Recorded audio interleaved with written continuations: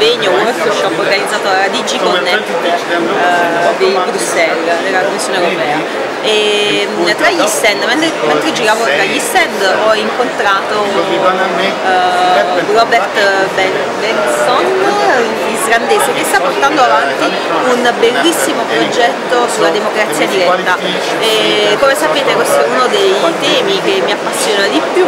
E qui siamo veramente all'avanguardia. E per questo che gli ho chiesto appunto di condividere la sua esperienza con voi in modo che tutti quanti possano essere partecipi anche di uh, questi nuovi progetti che si stanno sviluppando in Europa, anche finanziati dall'Unione Europea e sperando che anche noi possiamo sempre più incrementare uh, questo metodo di partecipazione democratica diretta. Yeah, uh, so we're here uh, in Lisbon on this conference uh, as part of the D-CENT project. And the D-CENT project is a European project that has 10 partners, including uh, us in Iceland, uh, uh, represent the Citizens Foundation in Iceland. We are a non-profit and we were started as right after the financial crisis in Iceland. So in 2008 all the banks in Iceland went bankrupt in one week and it was a big financial crisis, but in reality the real crisis was the crisis of trust. So uh, overnight uh, then uh, the citizens lost the trust in the government, in the institutions and uh, so uh, me and a group of entrepreneurs we decided to uh, uh start a, a non-profit uh, to develop tools to connect citizens and government and with the aim of uh, giving citizens more influence but also with the aim of making a connection, of building a bridge between citizens and the government. And uh, one example uh, I'd like to take is that uh, uh this year we have a 100th, 100th uh, anniversary of women getting voting rights in Iceland. And back then, 100 uh, years ago, in 1915, people used to go to the polls and vote for representatives for four years. And then they went back again for four years. So 100 years on, it's still the same system. So uh, in our view, we don't want to change that per se, but we want to have uh, give citizens more dialogue all year round. You know, and uh, we think that's just very healthy and needed for the political system in general uh, because four years without any uh, participation of the citizens is just far too long time. It's just impossible for politicians, no matter how uh, how much goodwill they have, to make promises about something that's going to happen two or three years from now. That's just impossible. There's too many things that happen in the world. Ci puoi spiegare nello specifico il progetto di budget partecipato di Rechiani? Uh, two projects uh, with the city of Reykjavik. Uh, one is uh, every month uh, people's ideas uh, go into the different city committees, the environment committee, uh, the planning committee, tourism committee, different committees. Uh, and that's a monthly ongoing event. This gives the citizens a right of initiative, of something being discussed at the government level.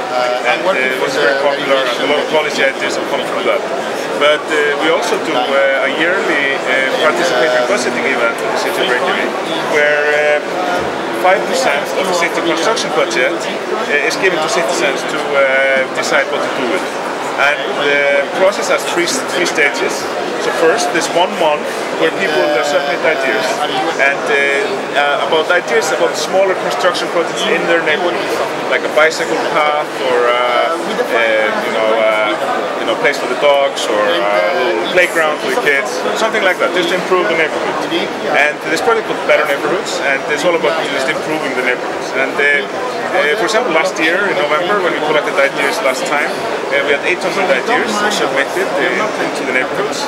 And then the city uh, takes three, three, four months to allocate and see how much money it will take to build this. So, for example, to build a new bicycle path, it's actually sometimes quite expensive. You don't even realize how much it takes to make a road. You need to prepare the ground, all sorts of things. You know? And uh, so then the final stage of the process is an online vote where every citizen makes a budget for their neighborhood. So at the top of the screen they see uh, the total amount of budget and then they can select ideas to fill out the budget. And so uh, this has two functions, both to prioritize uh, what's the most important things to build, but also to teach citizens about budgets, because people very clearly see that they have to select just few things. They can't ask for everything, because the budget isn't unlimited. And uh, since we started in 2011, uh, there's been 420 projects that have been voted through, and the city has built. So in every neighborhood, there's like everywhere you go, there's something. You look there, you look there. There's something that uh, ideas from citizens you know, are you know, brought to life. And in, in 2011, there was a big austerity, uh, you know, in, in Reykjavik. The Icelandic, uh, the Reykjavik Power Company was bankrupt, and uh, there was a lot of austerity, cutting down the budget. But uh, the government, uh, and it was even more important to participatory budgeting in that climate. It was even more important to spend the money wisely. With less money, you spend it, you spend it better.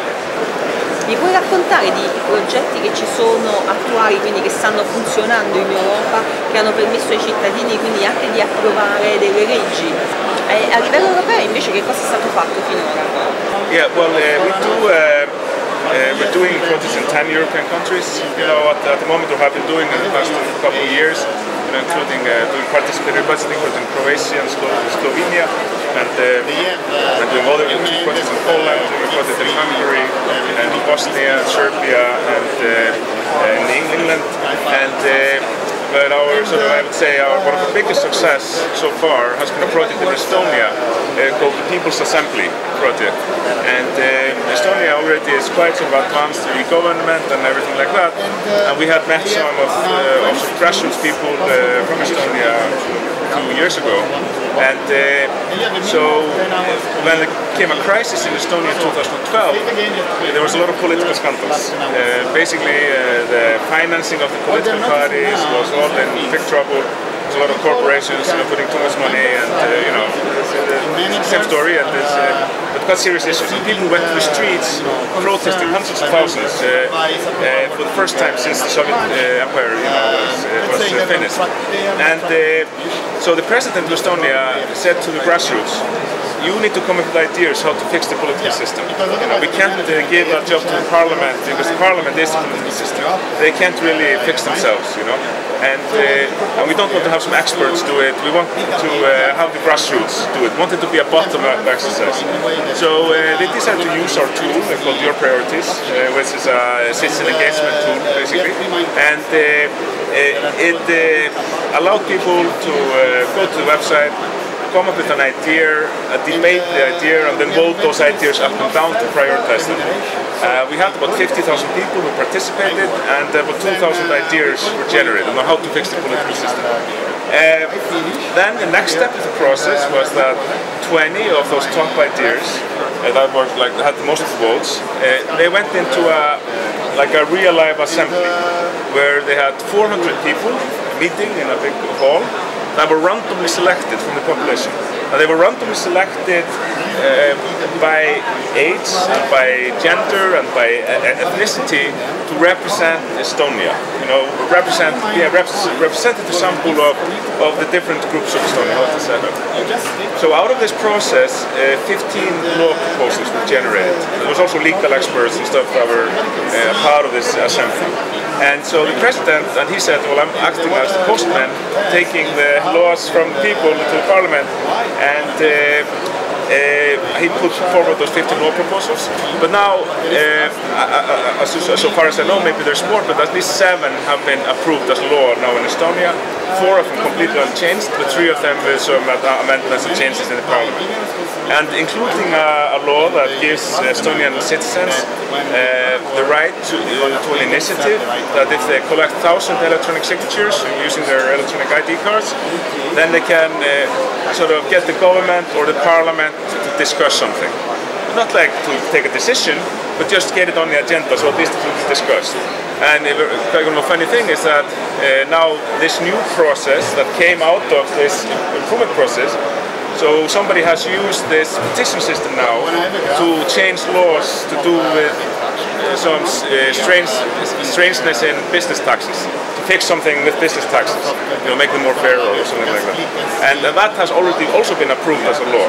So we actually have a participatory process that creates uh, like a formalized participatory project within the government, and now that formal participatory uh, process has already started to make new laws, and will probably make laws for the time, you know, until yeah, just continuously now. I'm sure there's going to be laws coming through that process every year. Conosci eh, strumenti di partecipazione de- democratica diretta dei cittadini che hanno permesso appunto ai cittadini di eh, partecipare alla democrazia diretta eh, in Europa?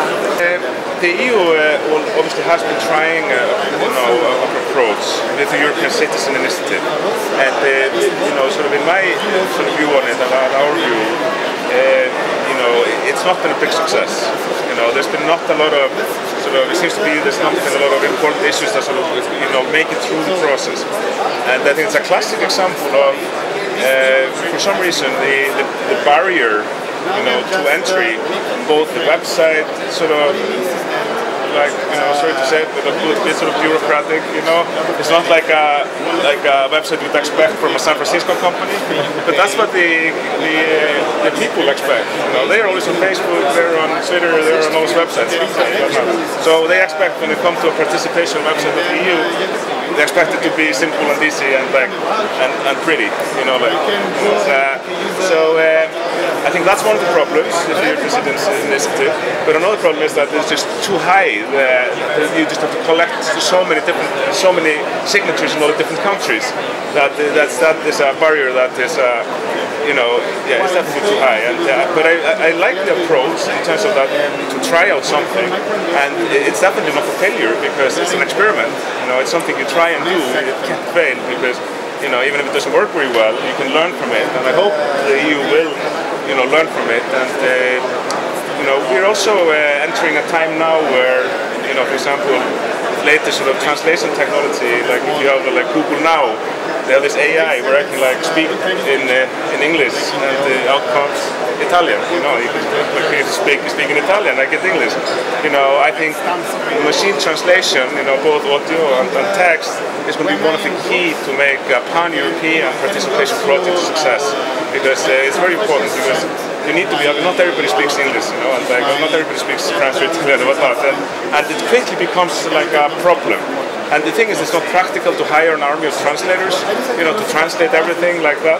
The machine translation of content is, I mean, the thing is that, you know, a couple of years ago, like you could translate something from German to English in Google Translate, and you would be laughing, you know, like, you know, because you've got all those silly translations coming out. But you take German text now into English today, it could be translated. it's almost flawless, you know. Even Icelandic to English, and Iceland is such a small country with very little, actually, you know, very little data for the Google uh, artificial intelligence to read to learn learn the language.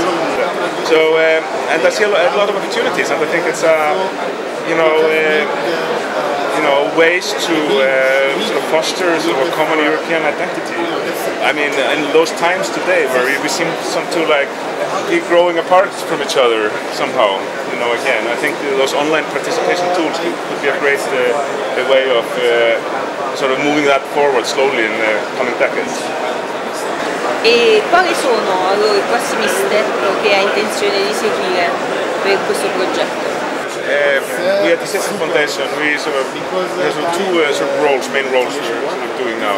One is sort of the development of tools and technology and the sort of democratic processes that we're sort of innovating. Uh, but the other is sort of dissemination and uh, sort of getting the word out there and uh, you know all our all our we're a non-profit and all our code is open source and we're encouraging more and more cities and non-profits, other non-profits to uh, to use the tools and uh, including going to this conference. You know, so, you know, quite important to go to those events to uh, and. when you have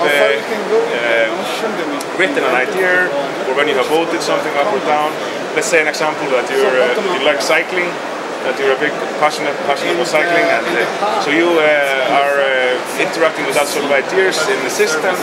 So this intelligent, intelligent notification will sort of, like, send you recommendations you know, uh, uh, and about, you know, if somebody has posted an idea about cycling and the system, think, oh, you might, you might be interested in that, and then it sends you a notification, maybe a weekly email or something like that. So, so to in, in the case of trying to push people to be, or nudge people to be more active. And when we talk about artificial intelligence, you know, people are like, oh, it's all science fiction, you know, it's like, you know, but we're actually just using the same tools as Facebook, those, uh, Amazon, you know, like Amazon recommendations.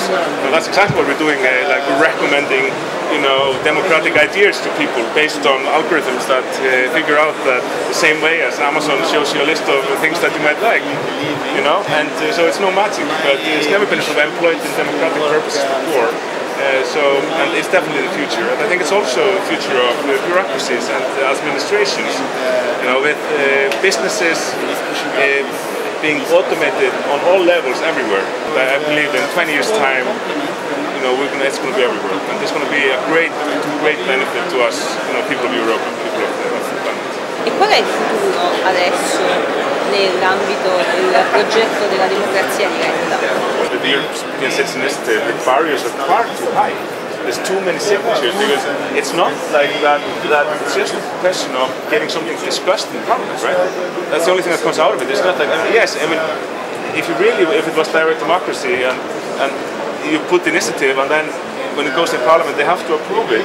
Yes, yes, then you obviously need a lot of signatures. From your point of view, they should lower the barriers. Yeah, you know, because I mean, they're treating it like a, a thing that will uh, actually a decision. You need a lot of signatures, but it's just a question of, getting something discussed in Parliament. And, you know, I know the Parliament has limited time and everything, but when you have a million signatures and it's missing thousand, uh, 20,000 signatures from one country, there's still a million people who signed it and there's nothing discussed. It's like it's like a you know slap in the face of the European people in a way, you know, because the people that go there they sign, people are working on those petitions, and then, oh no, you only have million signatures. You know, it's nothing. You know, it's like what? Million signatures? It's like, you know, at least the parliament could take, you know, one hour, 30 minutes to discuss it if a million people signed. So, well, I mean, I, think, I mean, I think it's so important, you know, that, uh, you know, that it's not only like the citizens are not only having a dialogue with the parliament. I mean, the commission and the, and the whole structure, you know, I mean, same like it like Reykjavik. I mean we decided very early on when we started to work with the city of Reykjavik that we wanted to be integrated into bureaucracy, into administration, so it wouldn't be a political project. It would just be an ongoing dialogue, you know, with the city as a, as a unit. And, and for citizens, it should really be a, you know, a lot of people are really confused about what the parliament does, what the commission does. And I don't think that's going to easily change. Oh, right, yeah, so, yeah, exactly. And then even you know the Council of Europe, that's completely different. And uh, people are mixing it all up, you know. European Council, Council of Europe, uh, you know. Anyway, but the thing is that I think that uh, for it to work effectively towards the citizens, it needs to be some sort of just a one gateway for it, you know. That when people come up with suggestions or there's a way of uh, getting feedback or, or innovation, getting ideas about solving a problem. Let's say, how do we solve an energy crisis, and how do we how do we uh, you know come up with ideas in terms of green energy in Europe? Just an example, or brainstorming about something. And uh, it should be something that the Parliament and the Commission are sort of somehow jointly you know connected to, but towards the citizens, just one one one face, you know, in a way. To start to do some experiments and but definitely the commission needs to be on board with it as well. I mean, there needs to be a uh, and uh, and the same way, obviously the, the EU is, is not the city of Reykjavik. I totally realize that, you know. But uh, you know, surprisingly, when you have one bureaucracy and then you have another much bigger bureaucracy, there are so many similarities still, you know. and uh, the thing is that there's so much, in a small scale in Reykjavik, you know, the culture to uh, to think, okay, so uh, it's my job to be in the planning department. I plan. You know, why should I be listening to the citizens? You know, it's my job to plan. You know? And not that people have been, uh, you know, difficult or anything in the planning department. Just culturally, they're just not used to it. And suddenly they get all those ideas, like 800 ideas, suddenly in the planning department. Like they're not used to that. It took, uh, there was actually last year, there were so many ideas. They just like they, they were like, what are we gonna do? You know, because you know, so so the culture of sort of listening to people participation, you know, needs to sort of slowly change, you know, with the EU as well. Uh, I'm sure it will. Uh, there's so many groups, including you guys, you know, and and, and this D-CENT project, that, oh, and all sorts of other, obviously, but there's a lot of pressure now, like of different sources of, of that we need to upgrade democracy because systematically it's it's, it's in a bad shape, almost everywhere. So it's you know in, in Iceland, European level, on the national levels, it's like uh, you know, and, and, and what, are we, yeah, it's like, what are we going to do? We need to upgrade the system. It needs to be upgraded, and I think whatever I've seen, uh, research or uh, just from experience, the best way is to involve citizens more. And the internet is, has actually created uh, a method where citizens can get the information they need to be an active participant in decisions. Thank you, and uh, I, I hope we meet